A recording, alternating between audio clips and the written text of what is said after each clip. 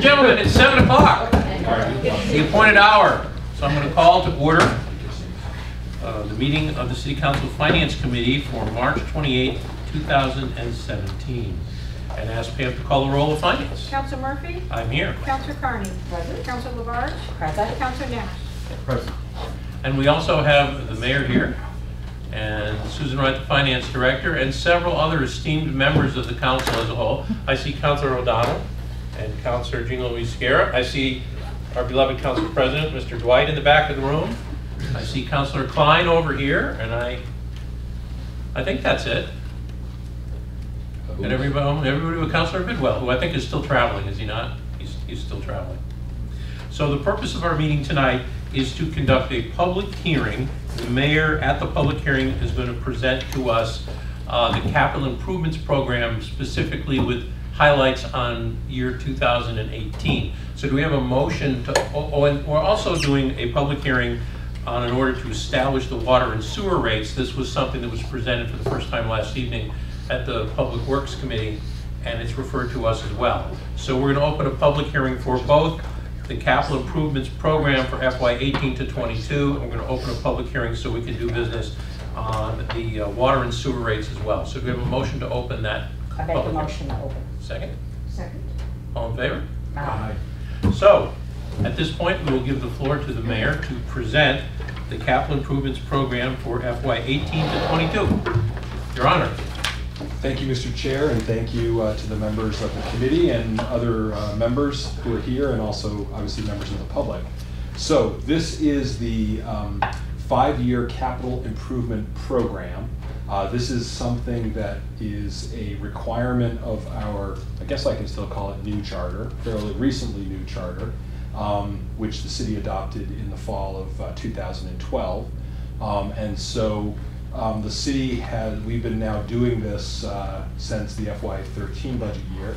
Um, and basically, the, the job of the mayor under the charter is to, um, is to compile uh, sort of a list of projected uh, capital projects that the city um, needs, potentially needs to undertake over a five-year period. And we have to update it every year. And so, um, again, it's, it's, as we try to make clear, this isn't a vote to actually um, do these projects or to borrow the money or to spend money on these projects.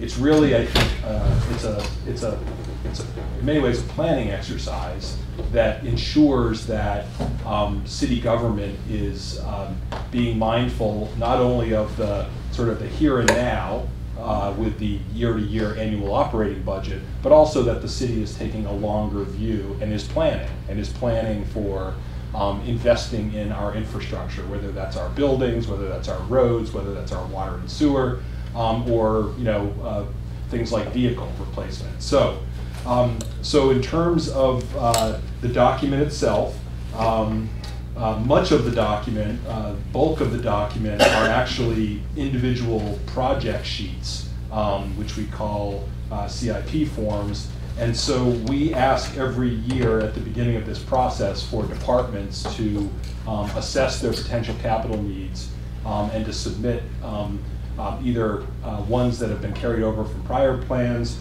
or new ones uh, to us. Um, I convene a, um, an advisory sort of ad hoc uh, capital improvement uh, review committee um, that actually your, your chair um, serves on and actually chairs. Uh, there's some citizen members. Uh, there's a representative from the school committee.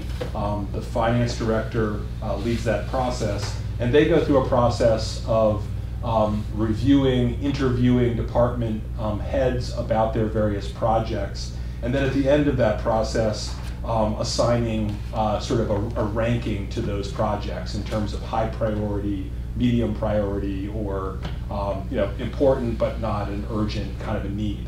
Um, then it's our task uh, to go ahead and uh, compile all that information um, and then try to shape based on our best estimates of what our uh, fiscal capacity is over the next five years, including largely what our borrowing capacity is, is to shape that together um, into a program. Now the charter is very specific that you have to, you can't just have a wish list of all kinds of projects. You also have to provide a projection of how um, you would anticipate trying to fund it.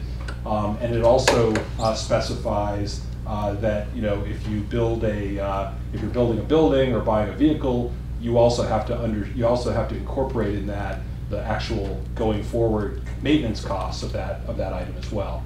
Um, so again, I think it's a valuable um, exercise. It's a valuable tool, um, and I think it's one of the ways that the charter is ensuring that we're that we're doing our due diligence uh, with regard to taking care of the infrastructure of the city.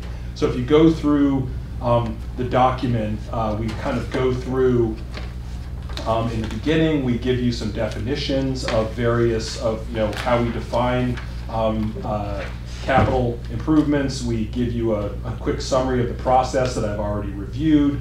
Um, we provide some basic guidelines um, that we look at when we're considering um, how we fund projects, and this somewhat segues into our into our debt strategy and some of our debt policies. Um, we go through all the various funding sources that we use, which can be anything from uh, obviously the undesignated fund balance or free cash, which we talk about um, uh, when that gets certified by the Department of Revenue. A, a large portion of that um, is dedicated to funding capital improvements. Um, we do have some cash capital. Our capital stabilization fund, uh, which you know we've been working hard um, over the last several years to uh, build that up.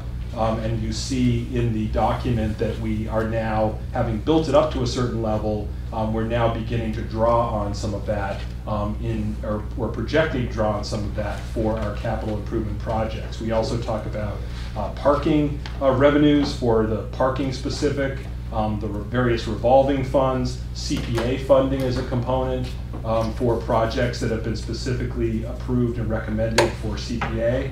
Um, some cases, as you know, we sometimes have reprogrammed funds, so there may have been a project uh, done in a prior fiscal year. There's excess money left over, so we will reprogram monies from that to a new project.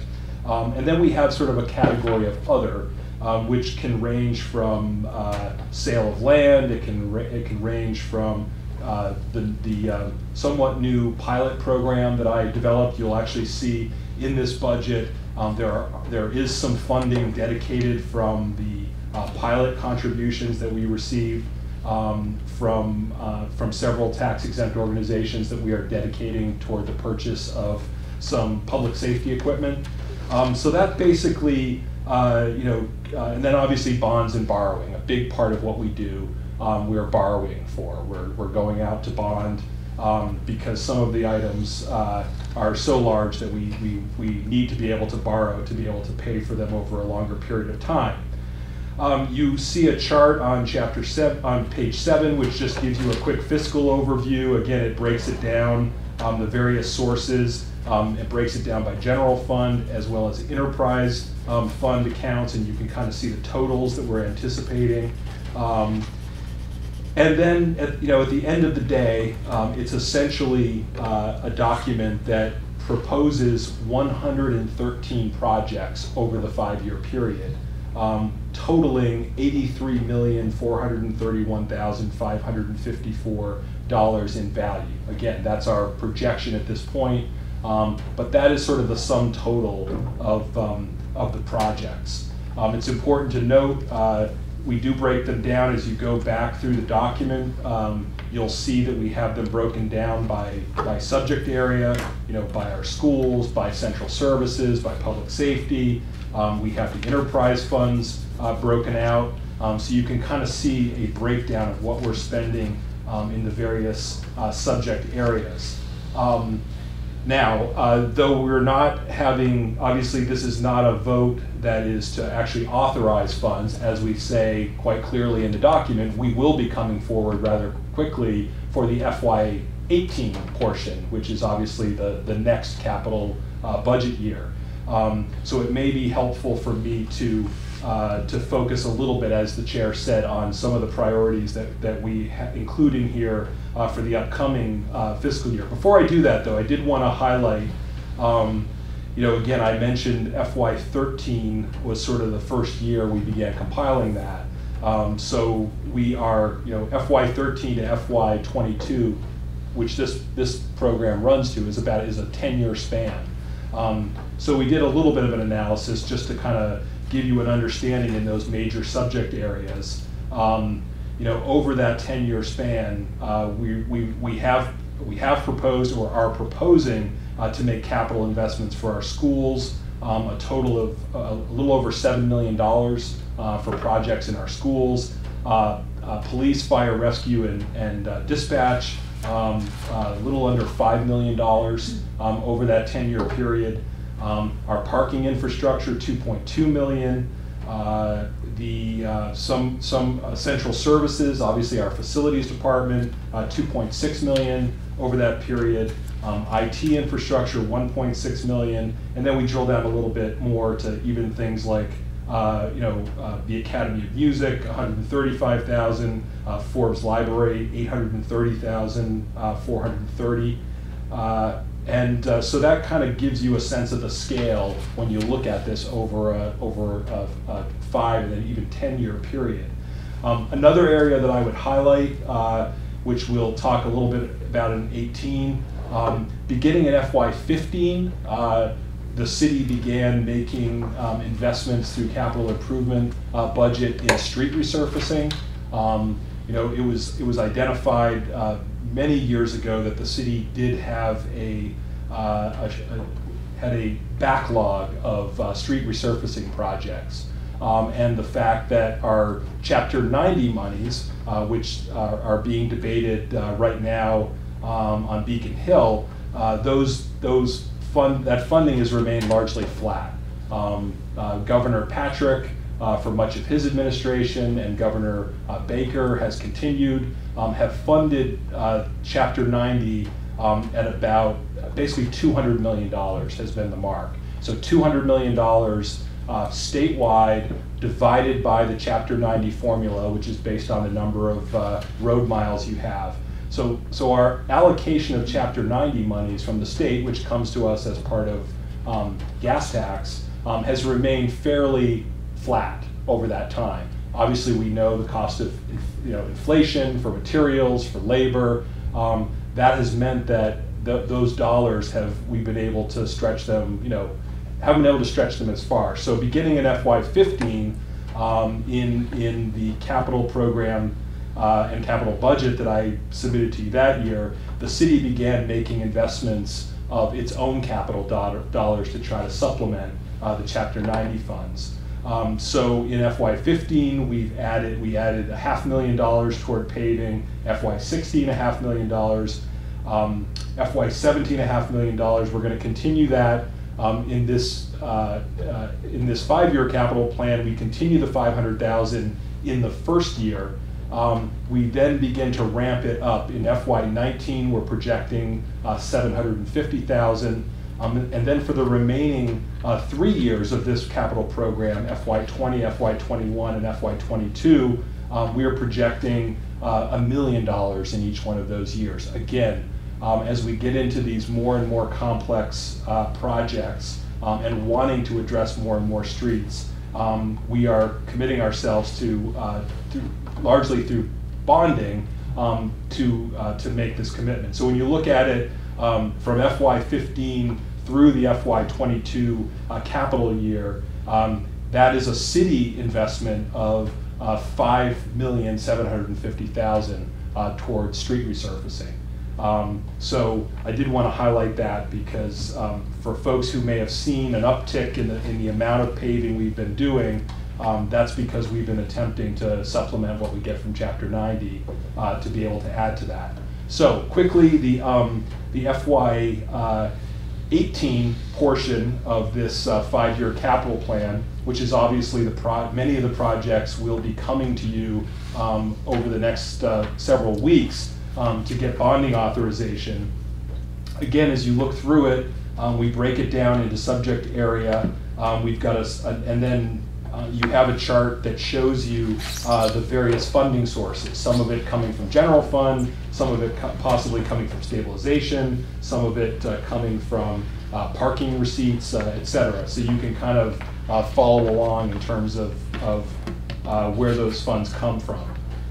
And I think, for folks who don't have a copy, I think the um, finance director ha- has some copies.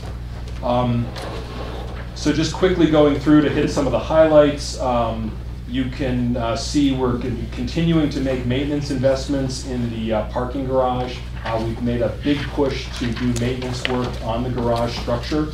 Uh, we're sort of ramping that down a little bit as we get to the close of that. Um, we're also making some uh, some investments in equipment as well as investment in uh, doing a, uh, a renovation of the Roundhouse parking lot, uh, which is kind of a carryover of the Pulaski Park Phase One and Two, uh, where we've taken some land from, from the Roundhouse lot for Phase Two of Pulaski Park, and so we're gonna do a, a renovation of the Roundhouse lot to try to create more spaces uh, to offset the, the loss from the Pulaski Park project.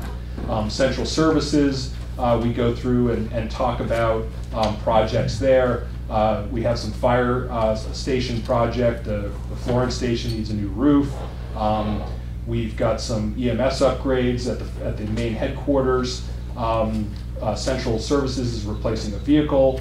Um, uh, we also have two projects that Central Services has been working with uh, the library administration on uh, doing design work, and that is a replacement of windows um, as well as a climate control system for their special collections, um, and then an additional smaller project, uh, which is an upgrade to their fire alarm and smoke detector system. Um, Building department, we are uh, continuing our effort to replace some of their aging vehicles. Uh, So we are uh, doing a vehicle replacement there. Um, Planning and sustainability, you see the continuation of the downtown uh, and parking wayfinding project that you funded part of in the FY seventeen fiscal year, um, as well as uh, uh, some additional rail trail design work, et cetera. IT, uh, IT services, um, you can see uh, largely it's replacement equipment, and I would remind people that one of the changes we've made over the last several years as, we, as we've tried to uh, modernize our IT uh, system as well as our department is we've now put most of the capital spending for all departments on IT in the IT services department. So when you see computer upgrades um, in the IT services budget, those will be computer upgrades that, that touch all city departments and actually now uh, some school departments as well. Um, though some of those are still shown in the school side. Um, fire rescue, uh, we are um, we have a few small projects. Obviously, in FY17, uh, the big ticket item is the new engine that we um, authorized the purchase of. That's under construction now, and hopefully will be delivered this fall. But we do have a few other um, replacement um, items, hoses, etc. Um, Public safety dispatch is doing some uh, radio hardware upgrades. They're also continuing their work on a citywide radio assessment, um, which is going to help us make smarter decisions about the type of communications equipment uh, we buy going forward. Um, under public safety, uh, we are showing in 17 uh, one uh, project which is uh, design and uh, estimated construction costs for an animal control kennel, um, which is now that uh, we have, uh, over the last couple of years, uh, councilors may know, um, with the retirement of the animal control officer that we used to subcontract to, um, the city has moved to a more traditional model for animal control. We have an animal control officer um, who works for the police department. Um, we currently have uh, an intermunicipal agreement with another community um, for uh, use of a kennel for the times that the animal control officer needs to um, kennel a dog that's lost or needs to be quarantined. Um, we really believe, uh, given the size of, of the city and the fact that our um, animal control officer is quite busy, that we need to begin looking at building a facility here in the city um, uh, to cut down on travel time and, uh, and to just make it a more effective uh, system for animal control. So that's a project that's uh, showing up as part of the police department uh, public safety line item. Northampton Public Schools, we're funding a uh, series of projects. Uh, uh, You're familiar with the um, roof replacement uh, projects because I've come to you for authorization for the Mass School Business uh, authorization for the grants that we'll receive to offset um, some of those costs, but you can kind of go through. Um, we have vehicles, we have security upgrades, we have uh, cafeteria, um, HVAC repairs. Um, we have a, uh, a kitchen remodel at uh, Ryan Road uh, School. I know Councilor Labarge will be uh, glad to know we're finally doing the gym floor at Ryan Road School, which has been a, a project that's been on there for quite a while. Um, and you can kind of read through uh, the various projects there. Then we have the various enterprise funds. Uh, if you were here last night, the director gave a pretty exhaustive overview of the of the uh, projects that they're looking at for water and sewer um, enterprise, and you can kind of go down. Some of it's ongoing work, water line replacement, sewer line replacement. Um, some of it is larger projects that we've been working on over several years. Um, some of it is the ongoing work that we're doing at the wastewater treatment plant. Um, you can also see uh, the Stormwater Enterprise Fund. Uh, we have um, we have uh, uh, projects there again, primarily line replacement, um, as well as some ongoing repairs and assessments to our levee system. Um, and then you've got uh, a series of the general fund uh, projects, which uh, include the pavement uh, repairs that I mentioned before, um, includes traffic calming, sidewalks, uh, which we continue to make commitments to in every uh, fiscal year. We've got some vehicle replacements, um, some cemetery improvements, um, and then you'll note that we are also uh, having last year done the design and engineering work for the Clement Street Bridge, we have funding in the project, uh, in, in the program, uh, to make the necessary uh, repairs that we believe will extend the structural life of the Clement Street Bridge, which uh, is in Councilor Murphy's uh, district, and some may recall was closed several years ago um, by the state, um, and we had to make some repairs at that point. Um, and so we've been working with structural engineers to come up with a plan um, for how we can keep that uh, that historic uh, bridge uh, open. Um, and I know that that's one that the uh, the Bay State uh, Village Association is, uh, is is very fond of. So that you're seeing the, now the funding moving beyond the engineering studies uh, that's going to help pay for that. So that's a quick run through, and then you can kind of follow, you know, where we're planning to um, utilize funds for, for uh, some of its borrowing, some of its cash capital, uh, some of it is reprogram funds. Um, but that kind of gives you an overview. So that is my um, presentation. Obviously, it's available on the website. Um, we do have copies at uh, Forbes uh, reference and Lilly Library reference desk uh, for people who wanted to, uh, to look at them there. We also obviously have copies available at City Hall. So that is my, uh, my presentation. Very good. Okay? Um, So what we'd like to do first is take any public comments. I know typically if it's a, a a planning project, it's those in favor and those opposed, but tonight I think we'll just take all the comments together. If anybody has any comments about what the mayor said tonight, if you've got copies and you want to know about a particular program, feel free to ask, and we'll let the mayor answer your questions. And then once the public's had a chance to speak, then we'll, uh, we'll let the members of the committee ask questions if they have any. Is there anyone in the public that would like to come up and ask a question or make a comment? Right. Hearing none, oh, sure, Council. Yeah, Yeah, please, come on up. all right. And we're just, we're giving you the first crack at this. If the, if the members of the committee start asking questions and somebody thinks of a question in the process, just come up to the podium. We'd be happy to take your questions. We want to give you first crack at it. All right, so I first want to say thank you um, for the plan. It's remarkable. You do such good work. Um, And I want to say thank you for uh, the water line replacement on Balloon Drive in Ward 7 and the new lockers at JFK. Every time that I go swimming there, that is a major complaint of everybody in the locker room, so those are wonderful things. I have questions about a couple things. Um, a general question. I see that we're paying for, or there's a suggestion for energy resiliency upgrades to city buildings. And I'm wondering if municipal buildings are eligible for um, CET or mass save subsidized energy efficiency upgrades and things of that nature, and if that's explored to lower costs. so are we doing this as a back and forth, or should I go through my whole list? What's the preference? Uh, Um, You would probably like to take them one at a time rather than. I can try to take them one at a time. Uh, Do you want me to? What's that? Yeah. um, sorry, start here. Uh, So clearly, we've been doing a lot of work uh, on energy um, upgrades. We did a major energy service contract uh, several years ago where we did major system upgrades to all of our buildings, all of our systems. Uh, In fact, the HVAC um, upgrade that we're doing at the library was something that was identified um, in that original ESCO as a way to, um, to save money.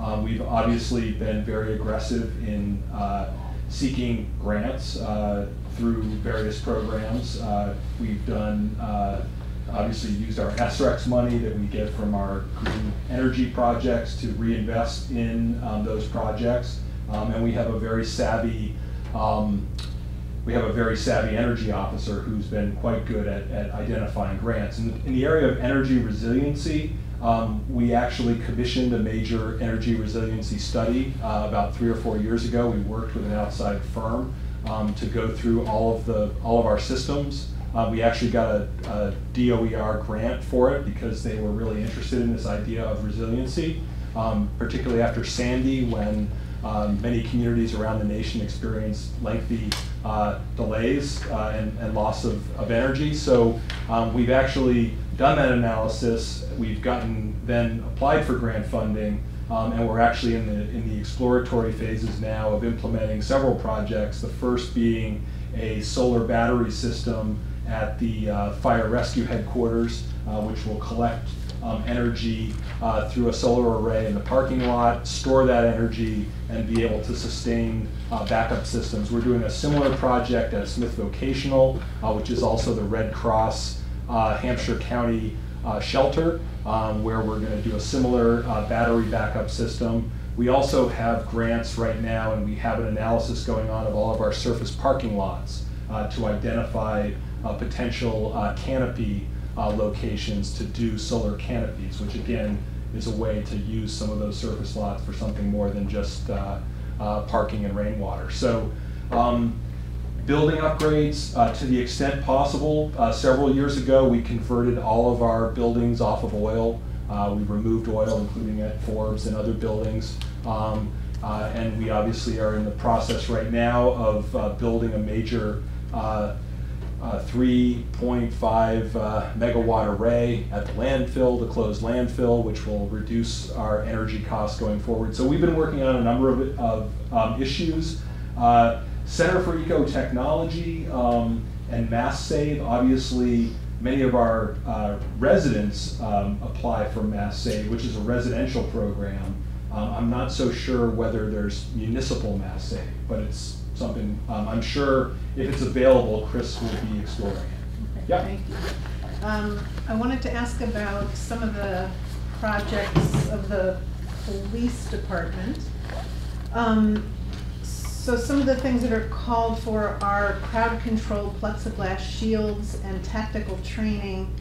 Um, and I'm a little bit curious about that one because I don't understand how that quite fits under a capital cost, um, since it's, it's not kind of, I know that it's equipment, but it doesn't seem to me that it's equipment in the realm of capital costs. So I wondered about those and some other things, protective helmets, face shield visors. Not only am I concerned about the fact that I'm not sure these are capital uh, expenses, but also is it really necessary for the Northampton Police Department to have crowd control equipment like plexiglass shields and uh, protective helmets and face shield visors and things of that nature? So I wanted to ask about that.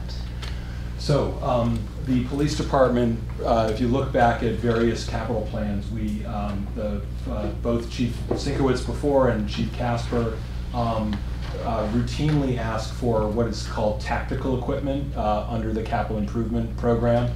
Um, and this is often, uh, can be bulletproof vests, um, it can, in one year, we, we replaced all of our, uh, all of the sidearms for all of the, officers. Uh, it was time to do an upgrade. We actually, I think we did a trade-in. Um, and we do, uh, do upgrades to various tactical equipment. Um, in some cases, there are there may be types of tactical equipment where, as part of purchasing tactical equipment, there's training that comes along with it, um, and so we put that as part of a uh, as part of the overall capital request because it is a one-time. You're making the purchase, and you are uh, then trying to train people on whatever the new equipment is.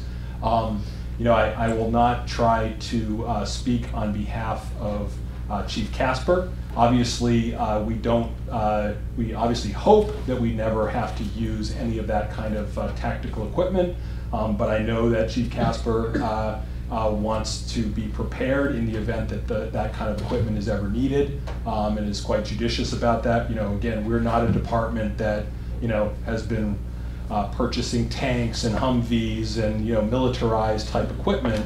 Um, But we do want to have equipment to be able to protect officers if there's, you know, large-scale um, issues that they may need to deal with. So um, I think there's detail in the capital plan that gives the chief's rationale for that. And obviously, um, if you'd like further information, I can have the chief uh, provide you with that between now and when this public hearing uh, closes, and then the council actually starts uh, deliberating on uh, voting to approve the program. Mhm.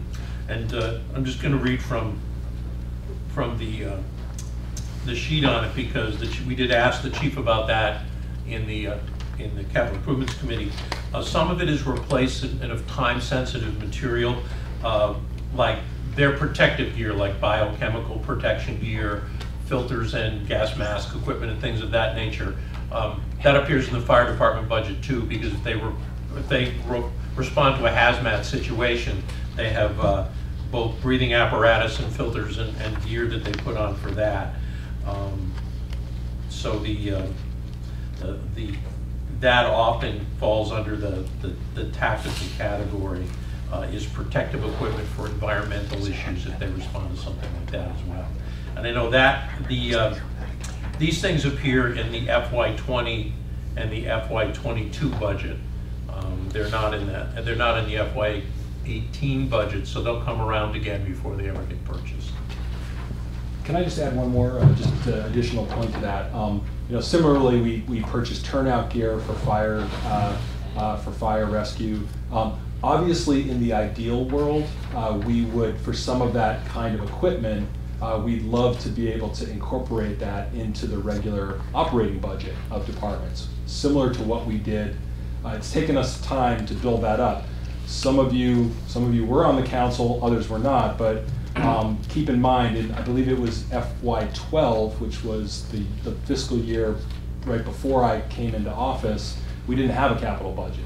We didn't, this was the There was year. no money. There was no money. This was the year that we had a, you know, we were coming out of the big recession that the, the nation, the world had gone through.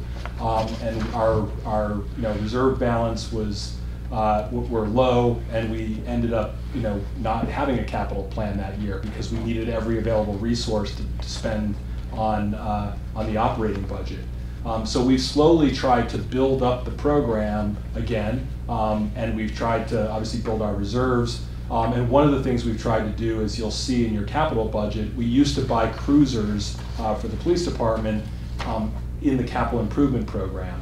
We've now slowly phased those, you know, one or two at a time out of the capital uh, program. They're now in the operating budget. We've done something similar with the um, with ambulances, which again we used to buy as part of the capital project. But again, ambulances and a fire EMS uh, is not a is not an optional thing. It's a it's a it's a critical piece of equipment, um, and so we want to have a regular replacement program. So we now fund that out of out of OOM in um, in those um, operating budgets. Obviously, these kinds of items. Uh, you know, like tactical equipment, we'd like to get to a point where at some point we may be able to have um, a line item in the operating budget. But when you have equipment that you only replace every five or 10 years, um, sometimes it's more prudent to have it in a capital improvement plan as opposed to in an operating budget. So, um, so that's just some further detail on why you might see items that seem like just, you know, personal equipment or regular equipment uh, for, for police or fire in a capital improvement program as opposed to in the operating budget.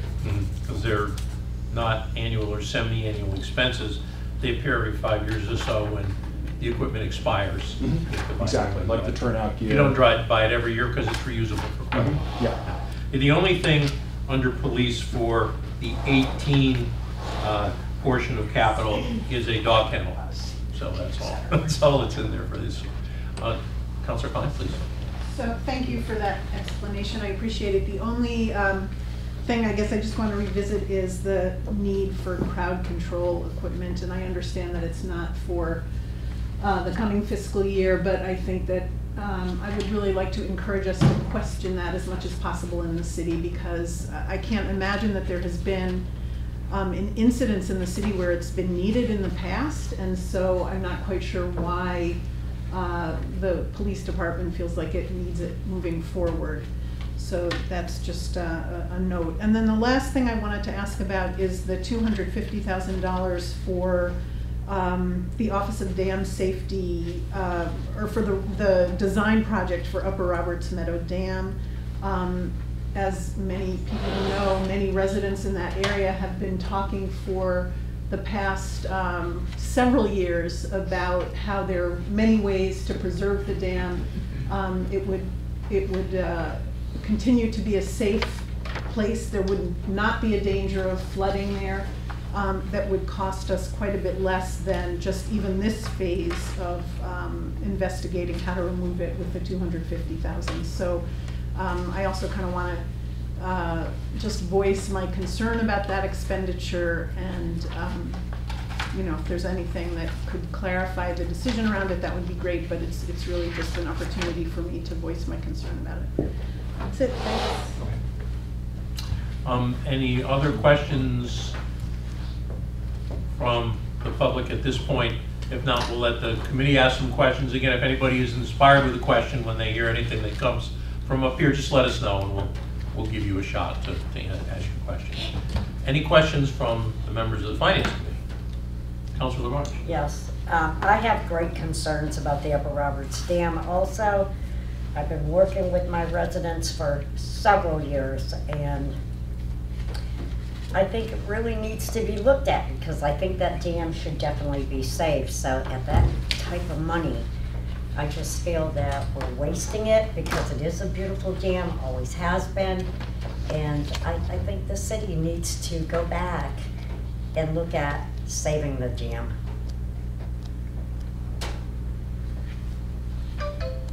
Other questions from Councilor Nash? Sure.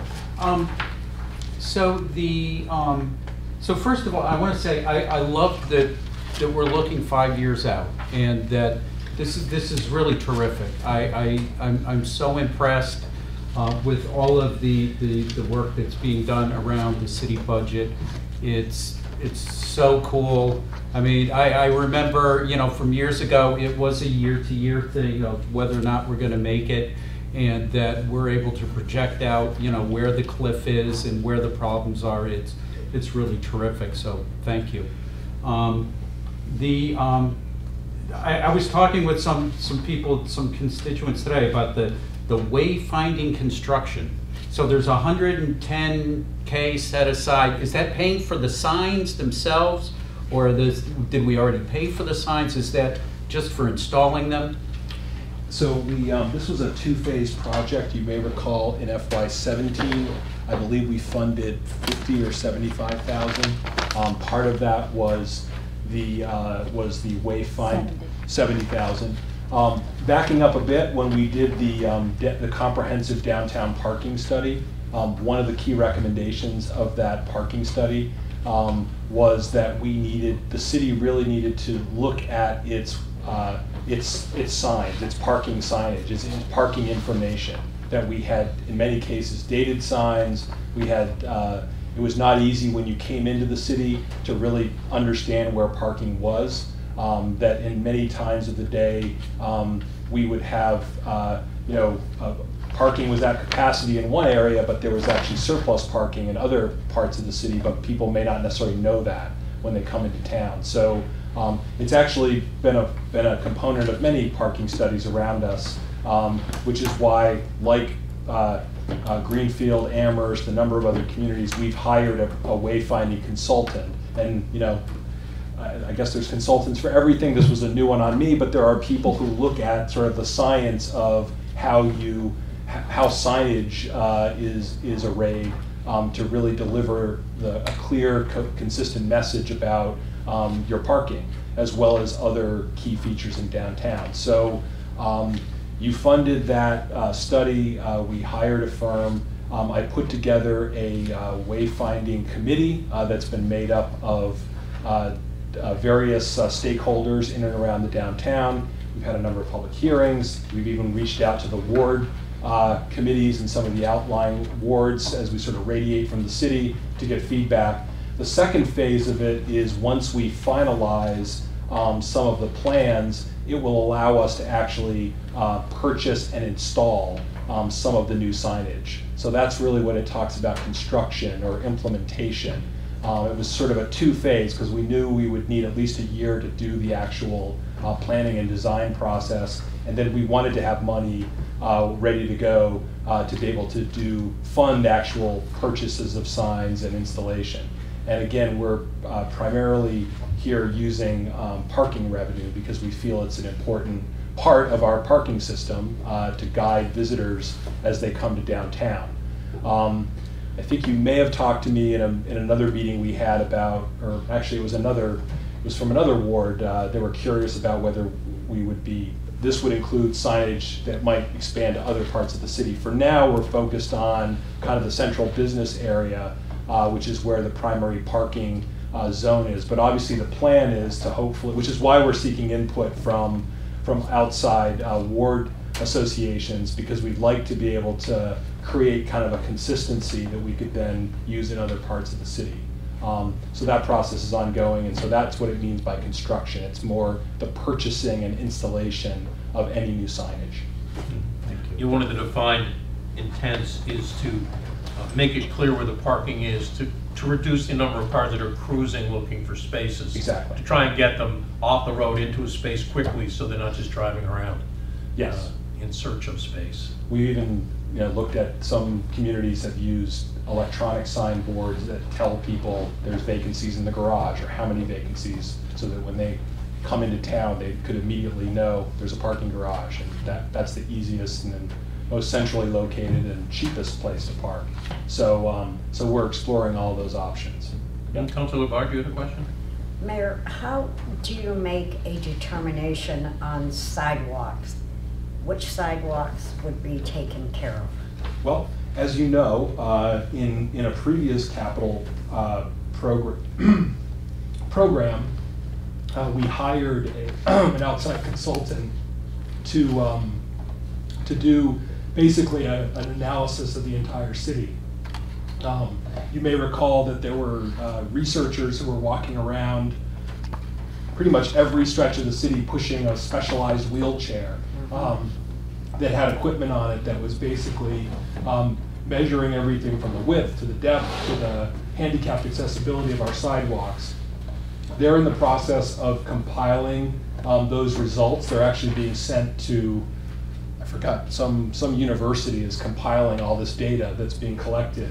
Um, and we're hoping to receive from them kind of a detailed uh, roadmap to, to our sidewalk infrastructure that's going to tell us where we have deficiencies, where we, where we have gaps, where we uh, need to upgrade sidewalks. Um, sort of like we've done with our pavement uh, management system, we're sort of doing that with our, with our sidewalk system. So once we receive those results, um, then we're going to work on how do we then prioritize. I'm sure it'll be a, it'll be a big scary number that they'll give us in terms of an estimated amount of sidewalk repairs, like most of these big capital plans are.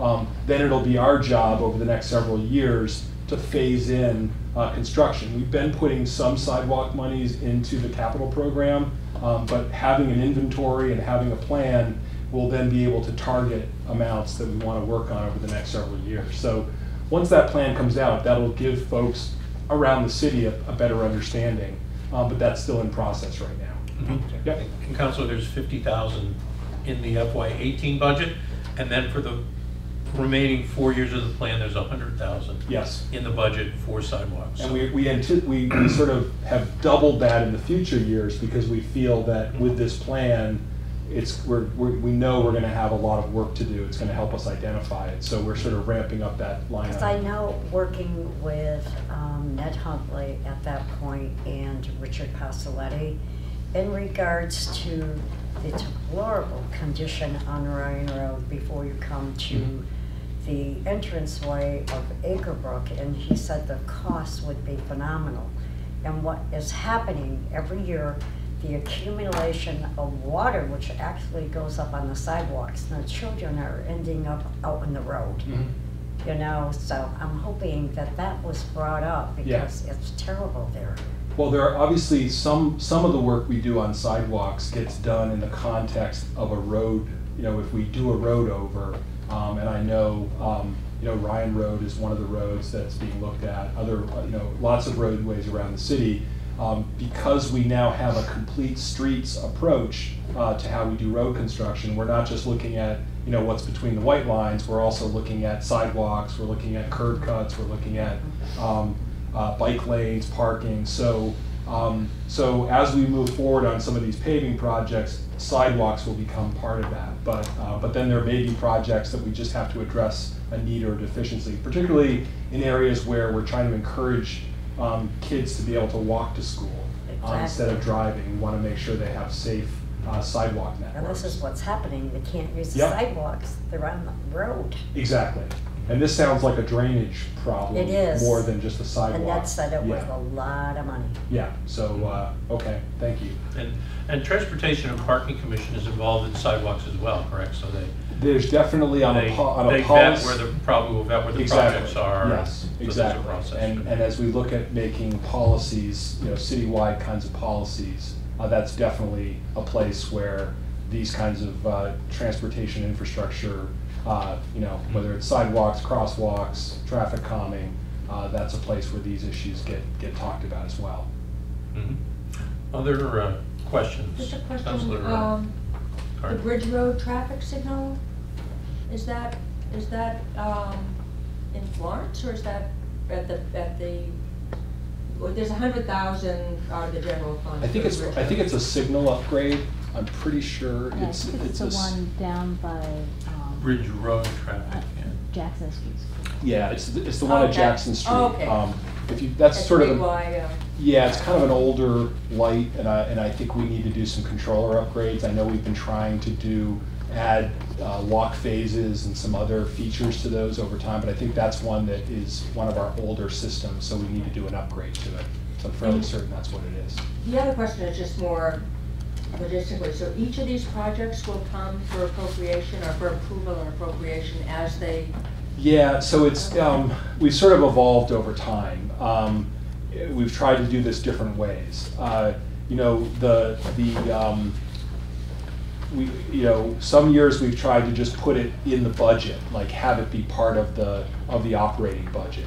Um, other, and, but what we find is that many of the projects, if you really want to try to do them in fiscal year eighteen, which starts, you know, July one, um, because of the construction season, um, and because of the fact that the ideal time to do projects in our schools is during the summer when school's closed, um, we've tried to come to you earlier and earlier to get the authorizations that are, uh, that are needed. Most of it is borrowing authorizations, because if you look at this plan, um, what's actually funding that will be part of the FY uh, 18 operating budget is a pretty small portion. It's what's called the cash capital portion. That's where you're, we're going to ask you to appropriate um, general fund dollars to cash capital, which is just to pay for really small projects, basically cash. Um, but much of what we're doing in this plan is seeking your authorization to borrow and to go out to bond.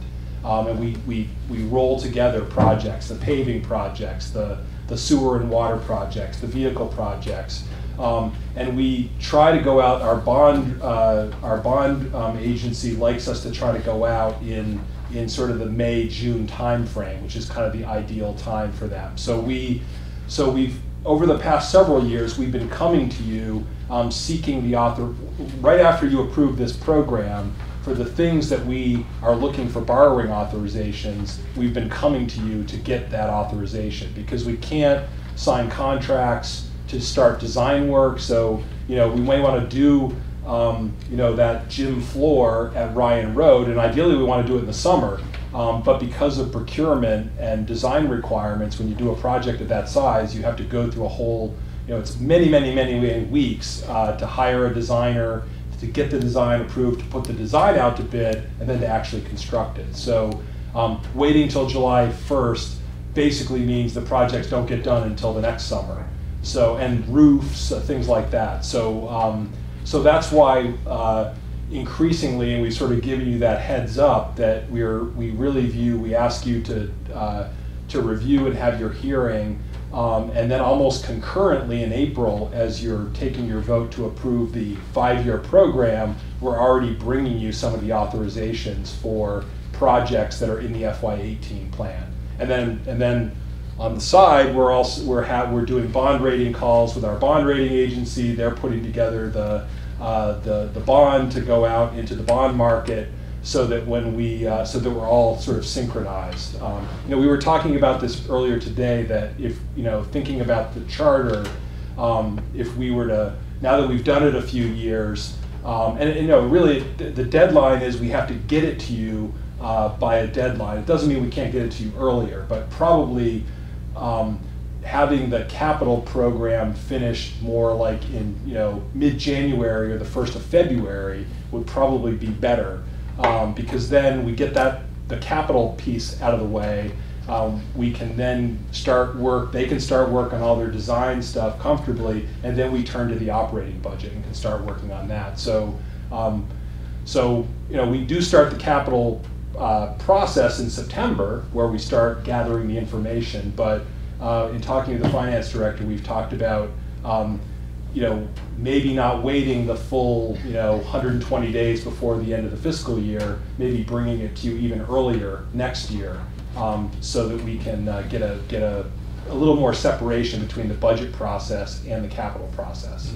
So, and again, important to keep in mind, the budget process is actual spending. The capital program process is sort of this conceptual document, and then we're doing, coming to you for all the borrowing authorizations in between. So for example, the uh, roof replacements at Leeds and Yes. Bridge are in the fiscal 18. Yes, they are. um, Capital program, pro- program, but we already authorized that borrowing. And that one, we, we, ago. we had to get the, we had to have those votes taken because of MSBA's process. But we're still gonna have to come and do some other bonding votes on those as well.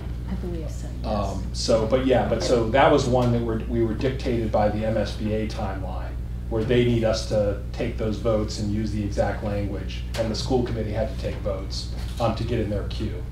Um, so, so when you're voting on the budget, that's the other reason, because when we put, in past years, we've put the capital, uh, program kind of in the general fund budget, but really a lot of what's in the general fund budget, a lot of those projects aren't actually being funded out of that general fund budget, although there's debt service on them, but the sum total of them, the big numbers aren't really part of the overall total budget, because much of it is, is uh, debt service. So, you know, I think under, uh, I, I- when I was on the council, I think Mayor Higgins, you know, tried it different ways. One year she came with a separate capital budget and then tried it in the budget. I know we've experimented with it different ways.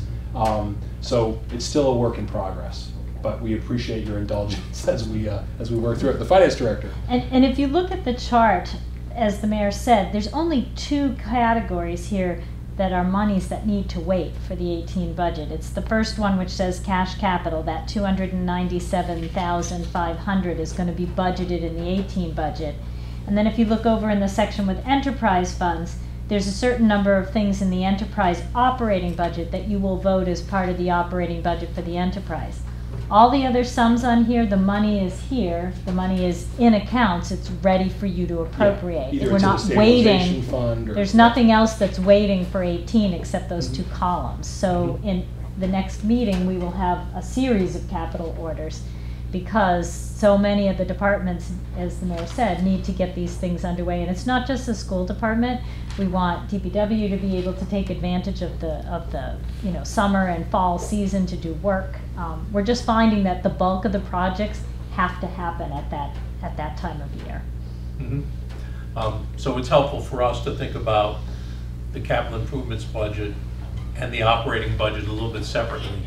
Some of the projects funded with enterprise rely on things that come out of the operating budget. But for construction projects and things that have a, a ramp-up time of specking and bidding and granting and then having to do it during the construction season, it really is a little bit different than the operating budget, which is what we'll do and vote on in June.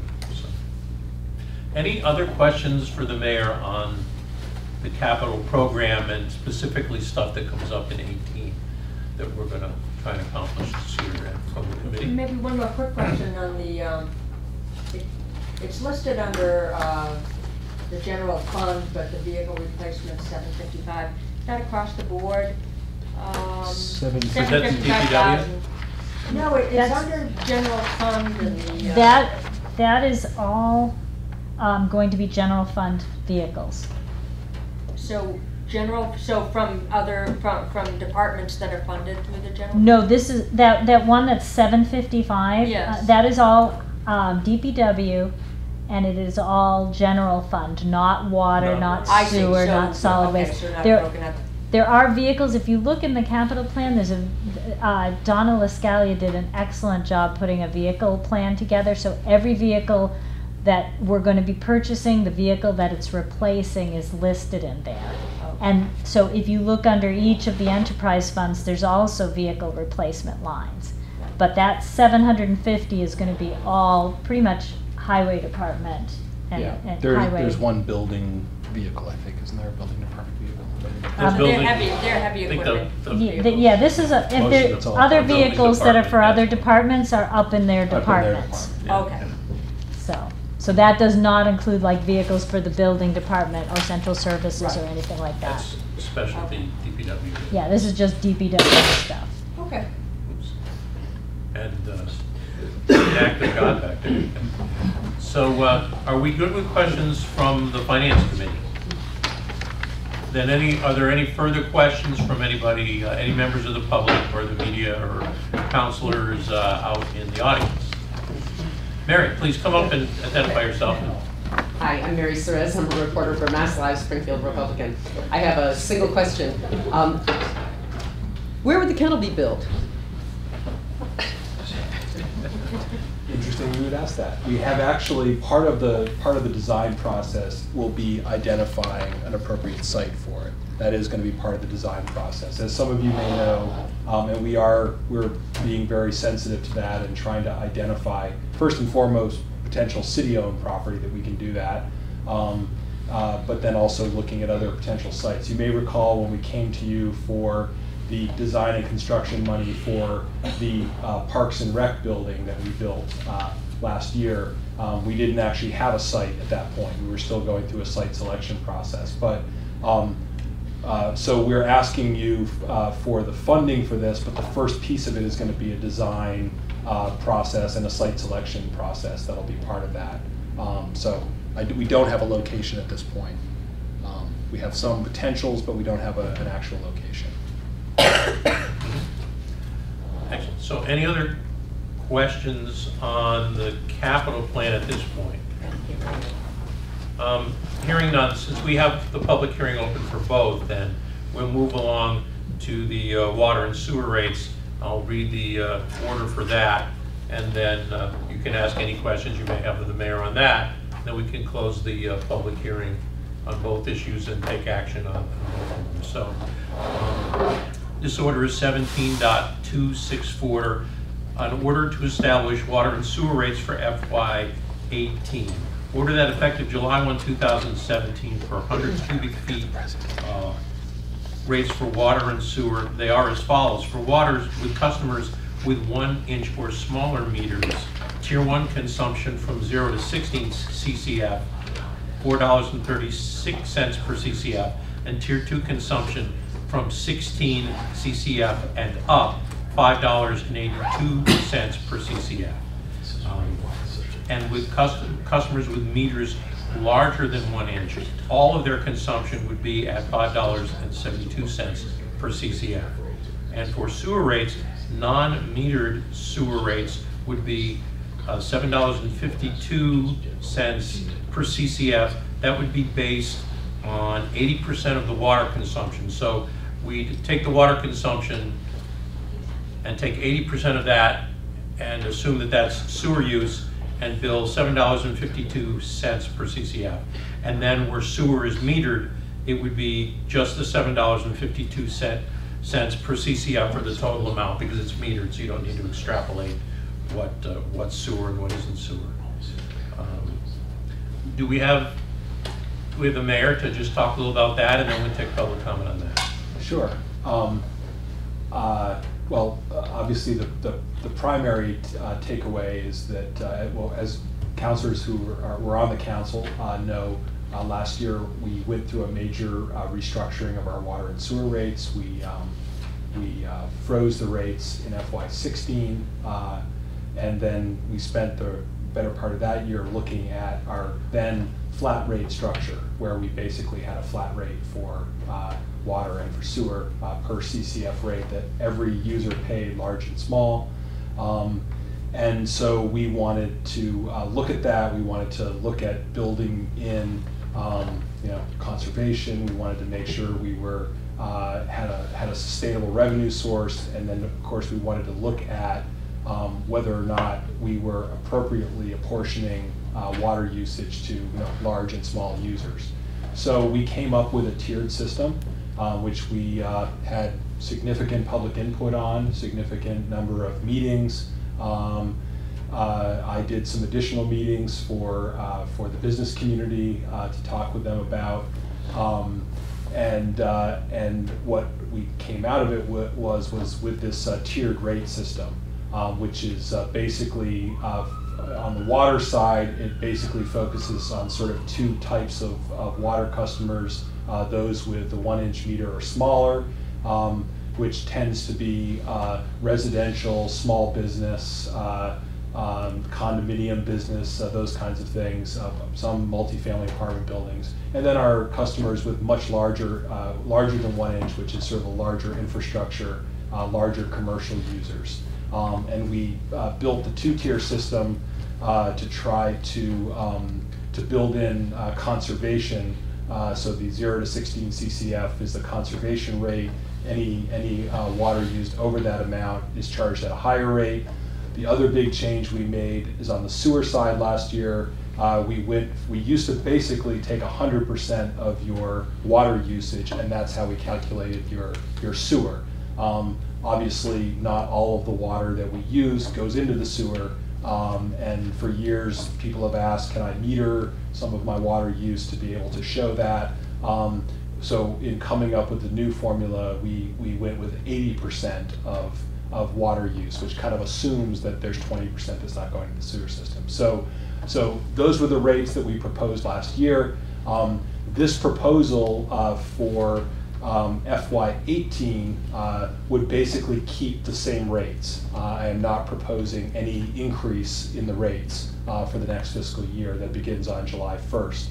Um, uh, we have a, a, a presentation that we gave uh, about 24 hours ago at this very podium. Uh, some of you were here, um, which I can go through or we can make available. I think at least three of you uh, saw it. But Yes. Basically, you know, in, in looking at our um, in looking at our water consumption and the amount of water that we are uh, providing to our customers, we kind of took a five-year look at it. Um, and over the last three years, uh, we, we, um, you know, we, we basically process and sell about a billion gallons of water. And that's remained fairly constant over the last three uh, calendar years, which includes uh, half of uh, the current fiscal year. Um, so based on those, uh, that, and then looking at our operational needs, um, and then looking at some of the uh, timing of some of the big projects that we're working on in both the water and sewer uh, enterprise funds. On the sewer side, primarily the wastewater treatment plant. And the director came last night before the uh, Committee on Public Works and Utilities Committee and discussed a little bit, in a little bit more detail, actually, some of the projects that are on the capital improvement program. Um, so we were kind of mixing all, uh, all mediums uh, last night. Uh, a little bit of budget, a little bit of capital, um, and then the water rate. So, um, so basically, we, uh, we believe, and the DPW has recommended to me, and I'm recommending to you, that we can maintain these current rates for another fiscal year. Uh, They will generate sufficient revenue to be able to not only cover our operational costs, um, but also be able to cover our, um, our, our capital uh, needs, uh, both cash capital, debt service, and obviously, part of what we'll be doing, as we just discussed, is we'll also be drawing from our capital stabilization funds, which you've already appropriated, which are already um, within those enterprise funds uh, to fund operations and maintenance. So um, that's kind of the, the quick version of the presentation we gave last night. Um, Again, um, the big takeaway is, of course, uh, this is maintaining the current rates for another fiscal year, uh, not increasing them. Any questions from the public for the mayor on water sewer rates? Again, they'd be held the same for 18 as they were in 17. Uh, And and many of the, much of the discussion last evening was the uh, DPW director talking about how the funds would be used relative to replacing water lines and working uh, at the reservoirs and replacing things at the filtration plant. Uh, But basically saying that the, the rates stay the same, there'll be sufficient revenue to do the capital improvement things to the water system that, that DPW feels are necessary.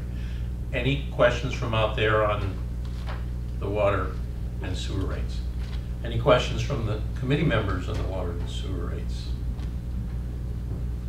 All right, then, last call for questions on anything, on capital, on the capital budget or water and sewer rates before we close the public hearing on both. Hearing none, a motion to close the public hearing. Make a motion. Second? Second? All in favor? Aye. Any opposed? Good. All right, um, then, since the committee didn't have any questions either, um, we have a motion on a recommendation for the capital plan to council.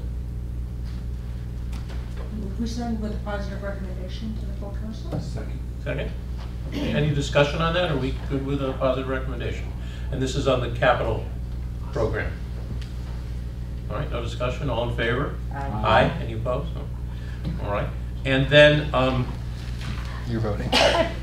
a motion on She voted the, um, order seventeen dot two six four, establishing the water sewer rates. And I can read them again, it's, uh, for water customers with a one inch or smaller meter, uh, between zero and sixteen CCF, four dollars and thirty-six cents per CCF. Uh, Over sixteen CCF, five dollars and eighty-two cents per CCF. For customers with a meter larger than an inch, all consumptions at seven dollars, I'm sorry, five dollars and seventy-two cents per CCF. And then on the sewer side, non-meters is seven, seven dollars and fifty-two cents per CCF based on eighty percent of water consumption. And if it's metered for sewer, the seven dollars and fifty-two cents per CCF for entire usage because it's metered. We have a motion for Make a recommendation. motion for on a that. recommendation. You you did? Second. Second? All right. Any discussion in the committee on? Was that, was that a positive recommendation? Yeah, was a positive recommendation, yeah. Okay. Good with that? Any discussion? All in favor? Aye. Any opposed? Okay. Excellent, thank you. Um, Is there any new business to come before finance? I, I know of none. Do any committee members have any business? And hearing none, and a motion to adjourn. Move to adjourn? Second. Second. All in favor? Aye. Thank you. And thank you to the mayor and the finance director for their presentation.